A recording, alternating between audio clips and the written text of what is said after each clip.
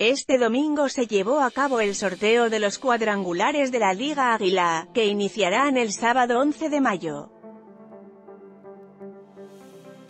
La primera fecha de estas finales ya quedó definida con un Millonarios América como el partido más importante del grupo que completan Pasto y Unión.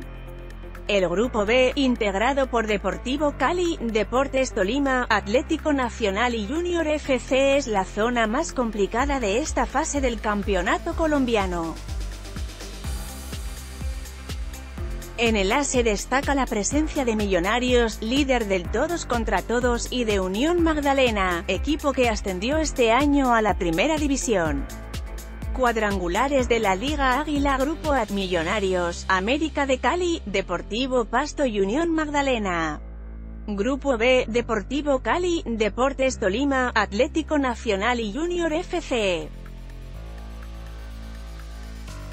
Primera fecha de los cuadrangulares La primera jornada de esta ronda de la Liga Águila se jugará el próximo fin de semana, más precisamente entre el 11 y 13 de mayo.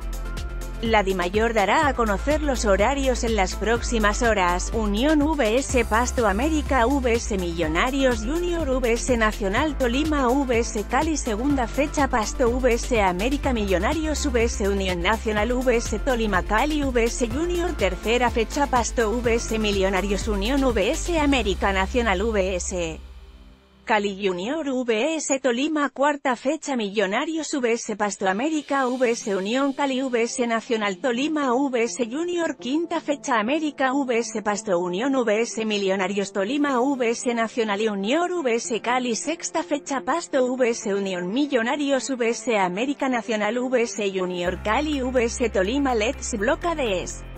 Guay.